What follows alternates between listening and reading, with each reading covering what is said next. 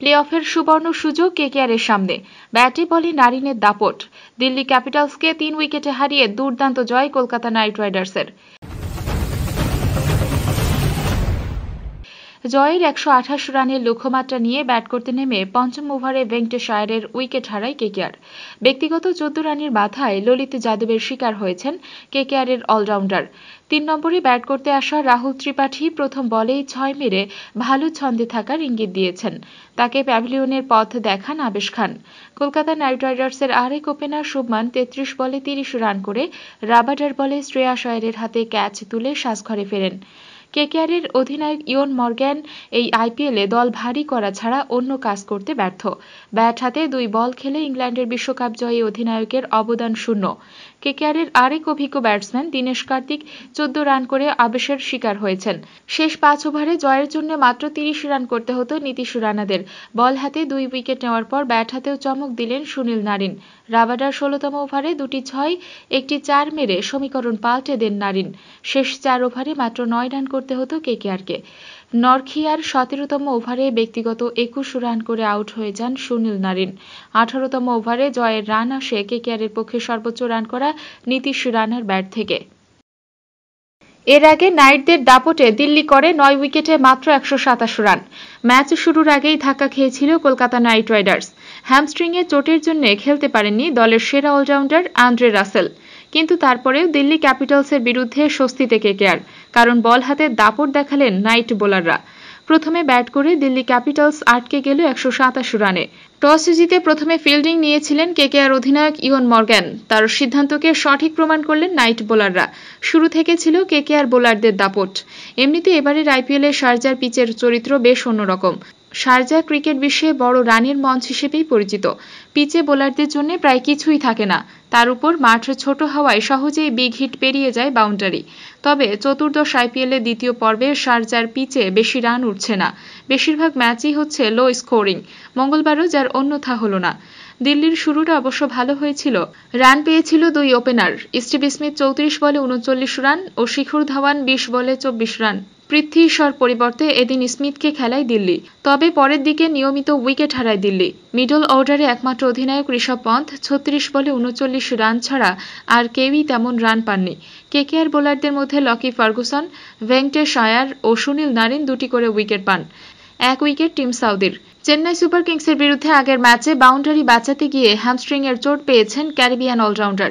KKR এর mentor David Hussey অবশ্য জানিয়েছিলেন, রাসেলের চোট কতটা গুরুতর সে ব্যাপারে এখনও বলার মতো পরিস্থিতি নেই। তবে দিল্লির বিরুদ্ধে রাসেলের খেলা নিয়ে ঘোর সংশয় ছিলই। শেষ পর্যন্ত তাকে বাদ দিয়েই নামল কেকেআর। এই ম্যাচের আগে অনেক ভালো জায়গায় দিল্লি। রাজস্থান রয়্যালসকে হারিয়ে প্লে অফ কার্যত নিশ্চিত করে ফেলেছে দিল্লি। দশ ম্যাচে ঋষভ পন্থদের পয়েন্ট ষোলো এবং আইপিএলের ইতিহাসে কোনো দল এ যাবৎ ষোলো পয়েন্ট নিয়ে প্লে অফে উঠতে পারেনি এমন নজির নেই। শেষ চার ম্যাচের দুটিতে জিতলেই প্রথম দুইয়ে থাকা নিশ্চিত করে ফেলবে দিল্লি। অন্যদিকে জটিল ধাঁধা রয়েছে কেকেআরের প্লে অফ দৌড়কে ঘিরে। পয়েন্ট টেবিলে চার নম্বরে থাকলেও সমান পয়েন্ট রয়েছে আরও তিন দলের। রান রেটে এগিয়ে থাকায় চার নম্বরে রয়েছে শাহরুখ খান। জুহি চাওলার দল। তবে প্রথম পর্বের তুলনায় নাইট শিবিরের ছবিটা কিছুটা ইতিবাচক। কারণ সংযুক্ত আরব আমিরশাহী পর্বে প্রথম দুই ম্যাচে রয়্যাল চ্যালেঞ্জার্স বেঙ্গালোর ও মুম্বই ইন্ডিয়ান্সের মতো দুই শক্তিশালী দলকে হারিয়েছে কেকেআর, যা তাদের প্লে অফের স্বপ্নকে নতুন করে অক্সিজেন জুগিয়েছে। কান ঘেঁষে বেরিয়ে গেল বিপদ। বরাতে জোরে পন্থের ব্যাটের আঘাত থেকে বাঁচলেন কার্তিক। অল্পের জন্য বড়সড় চোটের হাত থেকে রক্ষা পেলেন দীনেশ কার্তিক। না হলে ঋষভ পন্থের ব্যাটের আঘাতে চোট পেয়ে মাঠ ছাড়তে হতো কেকেআরের অভিজ্ঞ উইকেট কিপারকে দিল্লি ইনিংসের সতেরোতম ওভারে বরুণ চক্রবর্তী নিজের বোলিং কোটার চতুর্থ তথা শেষ ওভার বল করতে আসেন। প্রথম বলেই পন্থ লেগ সাইডে বড় শট নেওয়ার চেষ্টা করেন। বল ব্যাটে ঠিকমতো কানেক্ট হয়নি, নিচের কানাই লাগে বল। পরে প্যাডে লাগার পর বল লাফিয়ে উঠলে পন্থ সেটিকে স্ট্যাম্পে যাওয়া থেকে আটকানোর চেষ্টা করেন। কার্যত রিভার্স সুইপের ঢঙে পন্থ ব্যাট চালান পিছন দিকে। দীনেশ কার্তিক স্ট্যাম্পের ঠিক পিছনেই কিপিং করছিলেন। তিনি উৎসাহী হয়ে এক পা এগিয়ে বলের গতিবিধির দিকে তাকিয়েছিলেন। পন্থের ব্যাট ঠিক কার্তিকের মুখের সামনে দিয়ে চলে যায়। বিপদ কান ঘেঁষে বেরিয়ে যাওয়া বোধহয় একেই বলে। কার্তিক পিছন দিকে ছিটকে পড়লে বোলার বরুণ চক্রবর্তীকে আশঙ্কায় বাকরুদ্ধ দেখায়। তবে ঠিক পরক্ষণেই বোঝা যায় যে বিপদ কিছু ঘটেনি।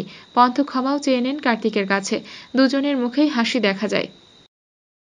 পাকিস্তানের বিশ্বকাপ দলে ফিরছেন মালিক ফখর জামান সহ পাঁচ জন টি টোয়েন্টি বিশ্বকাপকে সামনে রেখে গত ছয় সেপ্টেম্বর পনেরো সদস্যের দল ঘোষণা করে পাকিস্তান ক্রিকেট বোর্ড পিসিবি বাবুর আজমের নেতৃত্বাধীন এই স্কোয়াড নিয়ে অবশ্য সমালোচনার শেষ নেই। দলে কয়েকজনের অন্তর্ভুক্তি এবং কিছু ক্রিকেটারের অনুপস্থিতি নিয়ে প্রশ্ন তোলেন দেশটির ক্রিকেট সংশ্লিষ্টরা। সমালোচকদের দলে নাম লিখিয়েছেন শহীদ আফ্রিদিও। দল নিয়ে তার অসন্তুষ্টির কথা জানিয়ে ইঙ্গিত দিয়েছেন পরিবর্তনের। স্কোয়াডের কয়েকজনকে দেখে রীতিমতো বিস্মিত হয়েছেন সাবেক পাকিস্তান অধিনায়ক। আবার তেমনি শোয়েব মালিক সরফরাজ আহমেদদের মতন অভিজ্ঞ ক্রিকেটারদের অনুপস্থিতি ভাবাচ্ছে তাকে। তবে এই অলরাউন্ডার জানিয়েছেন, পূর্ব ঘোষিত দলে খুব শীঘ্রই পরিবর্তন আনতে যাচ্ছে ক্রিকেট বোর্ড। পাকিস্তানের বেশ কয়েকটি গণমাধ্যম বলছে, আফ্রিদির এই কথার পরই পিসিবি স্কোয়াডে পরিবর্তনের সিদ্ধান্ত নিয়েছে। আগের স্কোয়াড থেকে চার থেকে পাঁচটি পরিবর্তন আসবে, এটি নিশ্চিত। ফিরবেন শোয়েব মালিক, ফখর জামান, শারজিল খান, উসমান কাদির ও শাহনেয়াজ ধানি। বাদ পড়তে পারেন আসিফ আলী, খুশদিল শাহ শোয়েব মাকসুদ ও আজম খান। চলমান পাকিস্তানের ন্যাশনাল টি টোয়েন্টি লিগে এসব ক্রিকেটারদের পারফরমেন্সই দলে পরিবর্তন আনতে বাধ্য করেছে পিসিবিকে উল্লেখ্য, আগামী দশ অক্টোবরের মধ্যে বিশ্বকাপের দলে যে কোনো পরিবর্তন আনতে পারবে অংশগ্রহণকারী দলগুলো। পিসিবির প্রধান নির্বাচক মোহাম্মদ ওয়াসিম সপ্তাহের শুরুতেই বলেছেন, দলে পরিবর্তন আনার কথা মাথায় আছে তাদের। তিনি বলেন, বিশেষ পরিস্থিতিতে এবং বিশেষ ক্ষেত্রে দরকার হলে দলে পরিবর্তন আনব। হয়তো দশ অক্টোবরের আগেই পরিবর্তিত দল ঘোষণা করবে পিসিবি সানরাইজার্সে অস্তমিত ডেভিড ওয়ার্নার টি টোয়েন্টি বিশ্বকাপের আগেই বড় সিদ্ধান্ত ওজি ওপেনারের। গতকাল সানরাইজার্স হায়দ্রাবাদের একাদশ ঘোষণার পরই হইচই পড়ে গিয়েছিল। রাজস্থান রয়্যালসের বিপক্ষে কাল হায়দ্রাবাদ দলে জায়গা হয়নি ডেভিড ওয়ার্নারের।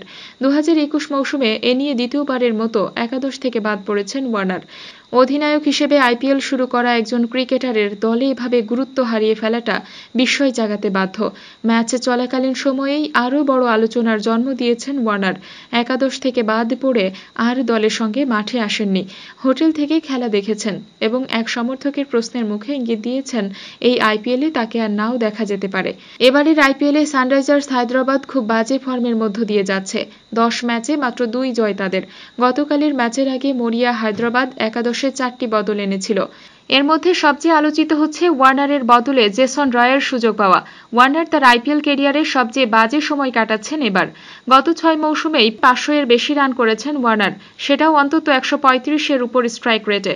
দু হাজার ষোলো সালে দলকে আইপিএল জেতানোর পথে দেড়শোর উপর স্ট্রাইক রেটে আটশো আটচল্লিশ রান করেছিলেন। ফ্রাঞ্চাইজিটির সমর্থকদের চোখের মনি হয়ে ওঠা একজনের এভাবে বাদ পড়া অনেকেই মেনে নিতে পারেননি। তাই অনেকেই সামাজিক যোগাযোগ মাধ্যম ইনস্টাগ্রামে ওয়ার্নার কেন নেই এই প্রশ্ন রেখেছেন। অনেকেই তাকে সান্ত্বনাও দিয়েছেন। এক সমর্থক ইনস্টাগ্রামে জিজ্ঞাসা করেছিলেন, ওয়ার্নার কি স্টেডিয়ামে আছেন? তাকে কোথাও দেখলাম না। এর জবাবে অনেকেই বিভিন্ন প্রশ্ন রাখতে শুরু করেন।